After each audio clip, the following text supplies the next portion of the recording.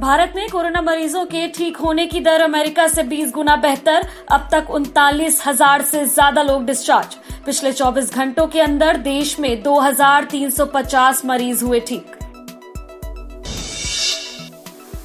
पश्चिम बंगाल में Amphan cyclone की दस्तक उत्तर 24 परगना ज़िले में भारी बारिश। उड़ीसा में 15 और पश्चिम बंगाल में 19 एनडीआरएफ की टीमें तैनात।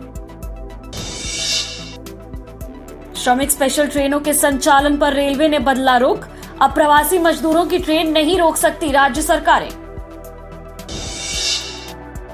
कोरोना मरीज़ मिलने पर पूरी तरह से बंद नहीं होगा दफ्तर। स्वास्थ्य मंत्रालय ने संस्थानों में कामकाज को लेकर जारी की नई गाइडलाइंस। बसों को लेकर योगी सरकार और प्रियंका गांधी में खींचतान जारी। कांग्रेस का आरोप, बॉर्डर पर खड़ी बसों को नहीं मिल रही है एंट्री की इजाज़त। महाराष्ट्र में चौथे लॉकडाउन को लेकर नियम जारी। राज्य में अब सिर्फ़ दो जोन रहेंगे रेड जोन और non red zone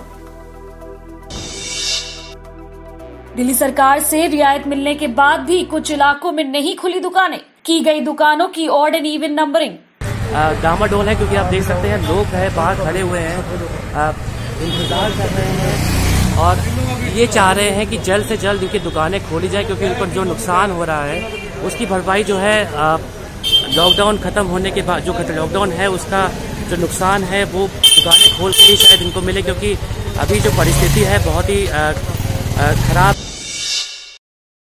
Shramik special train से जाने के लिए मुंबई के बांद्रा टर्मिनस के पास पहुँचे सैकड़ों प्रवासी मजदूर। सोशल डिस्टेंसिंग की उड़ी धज्जियाँ, पुलिस ने किया लाठीचार्ज।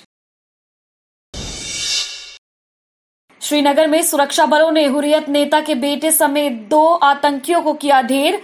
पंद्रह घंटे चली मुठभेड़ में तीन जवान जख्मी।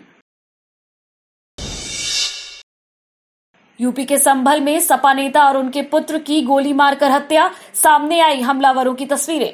पुलिस कर रही है जाँच।